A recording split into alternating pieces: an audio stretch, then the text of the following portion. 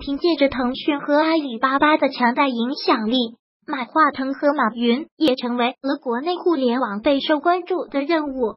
由于两种行事风格的差异，再加上两个人都是同性，所以总被网友们放到一起比较。相对而言，热衷公益的马云更加受到了大家喜欢，甚至被昵称为“马云爸爸”。但是马化腾就没有这么受欢迎了。不少人因为小孩沉迷腾讯游戏而抱怨不已，顺带也就不喜欢这位大佬了。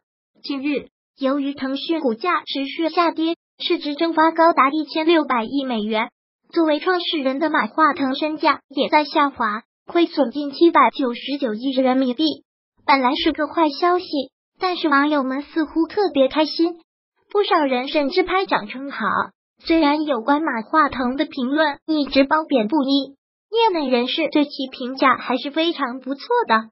作为互联网通讯第一人，马化腾创造了一个几亿人的 QQ 帝国，确实也是非常厉害的。与马化腾的身价下跌、腾讯市值蒸发相比，马云爸爸的红包活动又一次圈了粉。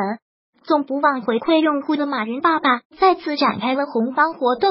从八月一日开始，用户通过线下支付宝扫码支付。就有机会获得八点八八十八八八八四千八百八十八元的花呗红包。不仅如此，线下支付满两元就可以获得抽奖资格，奖品也非常丰厚，包括八千八百八十八元的花呗红包、一年观影券、一年免费机票等等。马化腾亏损七百九十九亿，马云却发起了八千八百八十八的红包。看来这一波马化腾又输了呀。